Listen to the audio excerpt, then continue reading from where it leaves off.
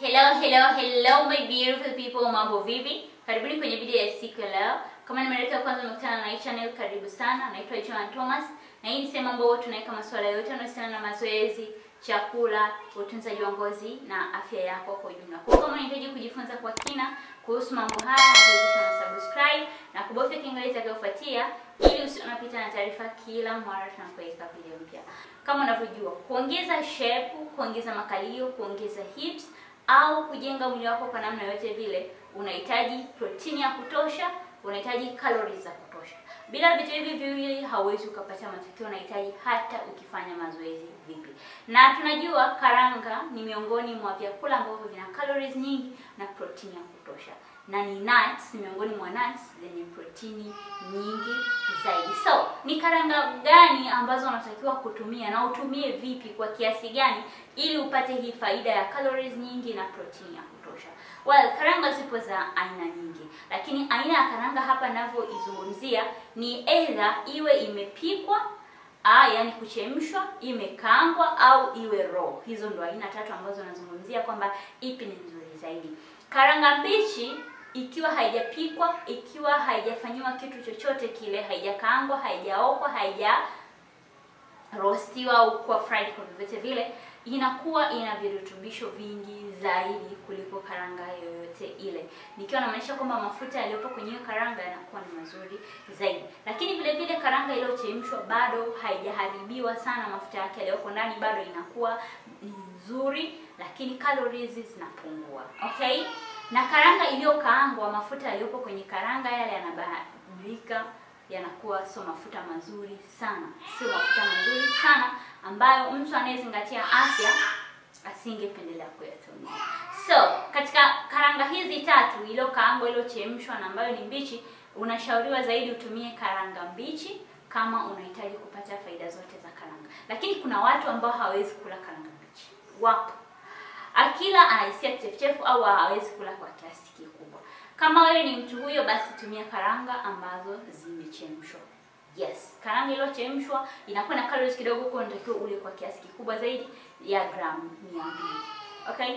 Kwa sababu kila kidogo tu unaweza kujisikia umeshiba zaidi, so unatakiwa ugawanye muda, ule muda gani, ule muda gani karanga iliyochemshwa. Lakini pia kuna mtu ambaye hivi vyote anaweza kavishindwa. Pamoja na faida ambazo nimezitoa kwa karanga mbichi, lakini bado unaweza ukaitumia karanga hii iliyokaangwa. Sio kwamba ni mbaya kabisa, bado utapata protein, bado utapata calories. Kwa hiyo unaweza ukaitumia hii karanga iliyokaangwa katika mfumo wa peanut butter.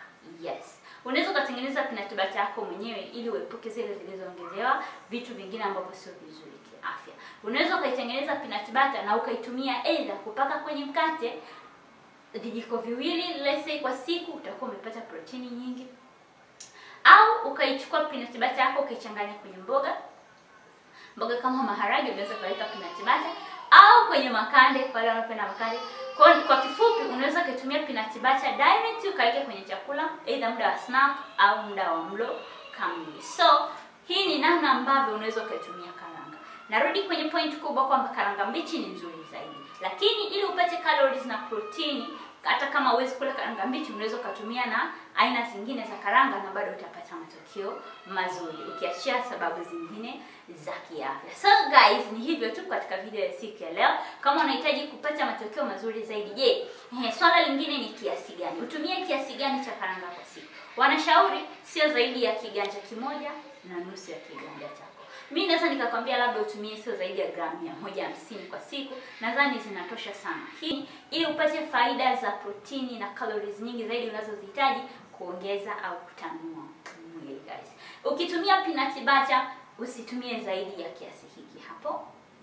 Hii ni kulingana na recommendation za wataalamu wa lishe, ili usije ukapata athari zingine ambazo unajua kila kitu kila kwa zaidi ya kiwango kinachotakiwa kinaweza kukuletea matokeo negative au matokeo hasi. So guys, yeah, hivyo ndivyo ni hivyo tu katika video siku leo. Kama unahitaji zaidi video za kujenga mwili, kutengeneza shape, kuongeza mwili wa chini au kujenga mwili tu kwa ujumla, hakikisha una like video hii, kwa sababu video ikiwa na like nyingi ndivyo nitakavyojua mnazihitaji zaidi guys, na nitatengeneza video hizo kwa wingi zaidi. Okay guys, bye bye, tuonane katika video zijazo.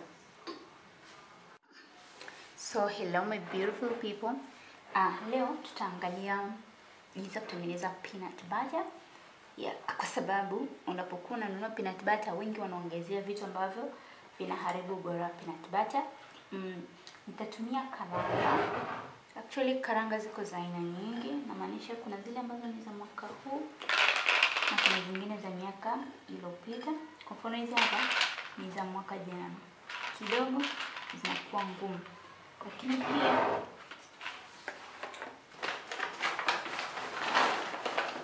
kuna hizi hapa zingine, hizi zingine.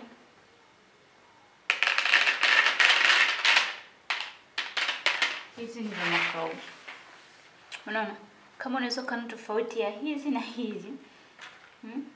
Hizi za mwaka jana kidogo zimekomaa, zimekuwa ngumu, na hata ukizitesti unakuta maji yake yamejikusanya, ni tamu kidogo, kazi na sukari sukari.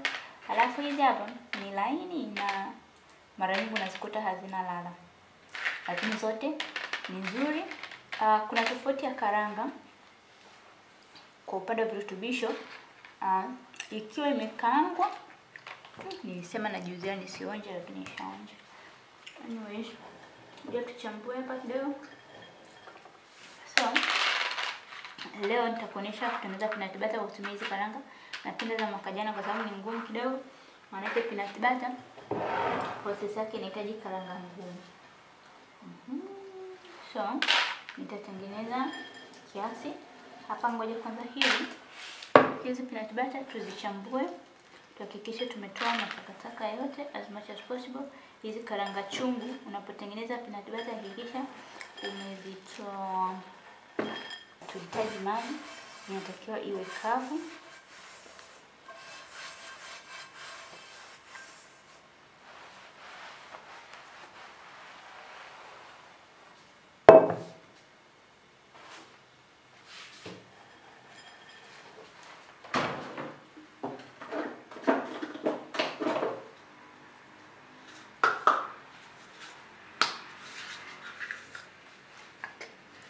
Hiki ni kikombe cha nusu kikombe.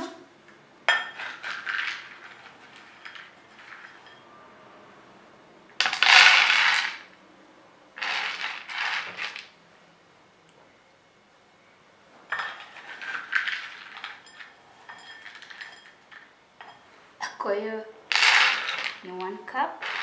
Hizi zitatosha, tutazikaaga kisha tutazileta hapa. ハハハハ!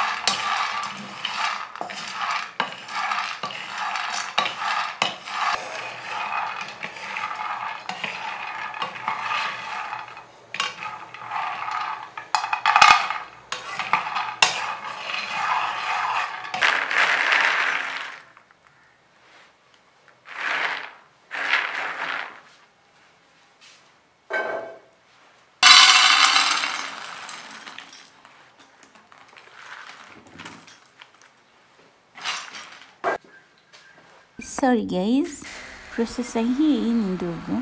Hakikisha unatumia processor kubwa ili uendelee kusaga. Hapa nilihamisha na niliongeza mafuta ya vegetable.